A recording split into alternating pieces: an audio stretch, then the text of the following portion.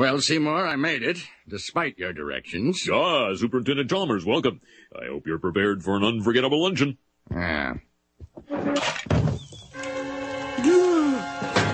Oh, ye gods! My roast is ruined!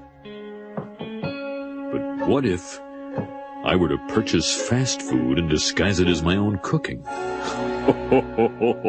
Delightfully devilish, Seymour. I was just, uh, stretching my calves on the windowsill. Isometric exercise. Care to join me? Why is there smoke coming out of your oven, Seymour? Uh, oh, that isn't smoke. It's steam. Steam from the steamed clams we're having. Mmm, steamed clams.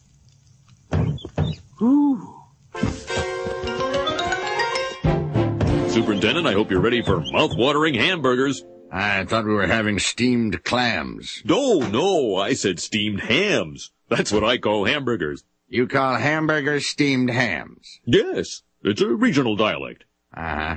Uh, what region? Uh, upstate New York? Really? Well, I'm from Utica, and I've never heard anyone use the phrase steamed hams. Oh, not in Utica. No, it's an Albany expression. I see. You know, these hamburgers are quite similar to the ones they have at Krusty Burger. Oh, no.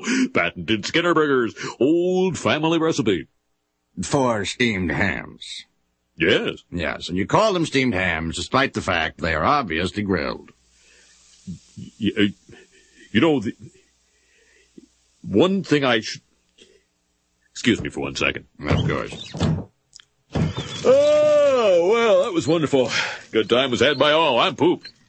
Yes, I should be. Good Lord, what is happening in there? Aurora Borealis? Uh, Aurora Borealis. At this time of year, at this time of day, in this part of the country, localized entirely within your kitchen. Yes. May I see it? No. Seymour, you are an odd fellow, but I must say, you steam a good ham.